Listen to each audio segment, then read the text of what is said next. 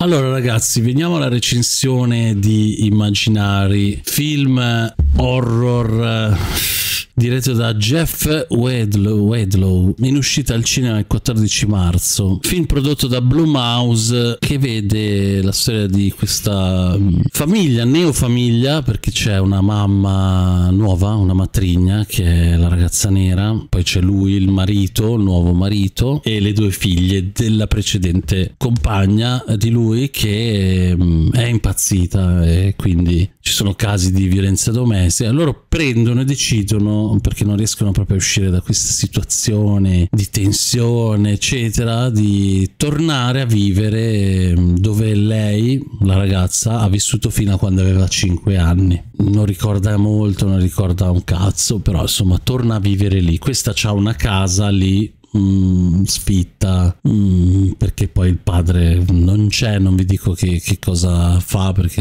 non voglio svelarvi troppe cose interessantissime di questo film. Allora, non mi piace blastare i film perché, mm, perché spesso i film hanno, mm, non so, non so come dire, ci provano e poi sbagliano per cui io apprezzo il, il, fatto di provarci, il fatto di, che c'è un lavoro dietro, purtroppo c'è un lavoro anche dietro questo, però in questo caso diciamo che mm, sono propenso a blastare un pochino questo film perché è un po' l'emblema del declino mm, qualitativo, non che fosse mai stato chissà che cosa, però aveva iniziato in un certo modo la Blue Mouse, comunque lo budget, comunque tirando fuori dal cilindro dei film dignitosi con pochi soldi, ris- facendo riscattare anche certi registi, però questa volta veramente è caduta più in basso di quando è uscito Megan, è caduta più in basso di Night Swim. Ecco, quei film lì a paragone sono dei capolavori, sono del, delle pietre miliari del cinema rispetto a questo film. Questo è un film pieno di cliché incredibili che si sovrappongono al punto tale da non avere neanche senso, perché sono inspiegabili possibili, no? come comunque abbiamo un villain che è un, un, personaggio immaginario, il classico amico immaginario che però che ha un suo, un suo perché insomma di esistere, mh, mm, però si manifesta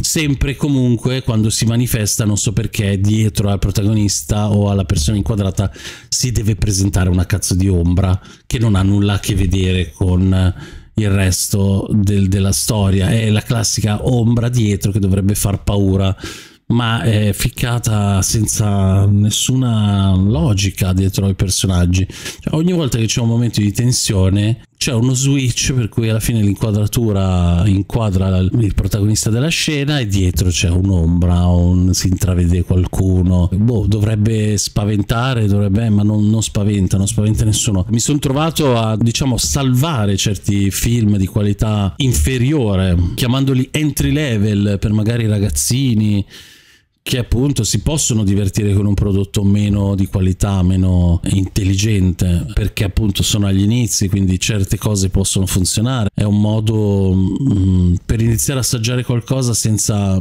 anche se io non sono per, per questo tipo di dieta nel senso che un ragazzino può tranquillamente vedere Rosemary's Baby, Shining e apprezzarlo senza avere chissà quali strumenti. Nonostante ciò, comunque alcuni film brutti mh, mm, possono divertire. Questo film, Immaginari, credo che non piacerà a nessuno, neanche a persone insomma più giovani e più piccole perché veramente non spaventa, non è interessante, non ha neanche un target eh, corretto perché comunque la protagonista è una donna e il film è abbastanza ingenuo, infantile, non so in che chi dovrebbero riconoscersi loro. È totalmente privo di sangue, a parte una, una piccola scena dove c'è questo sangue in CGI che esce da una porta in modo anche abbastanza sciocco. Credo veramente di non essermi mai annoiato così tanto e ho visto anche dei film non belli, insomma pieni pieni di, di, problematiche, ma questo è un film che è veramente non ha senso di esistere. Credo che sia costato 12 milioni di euro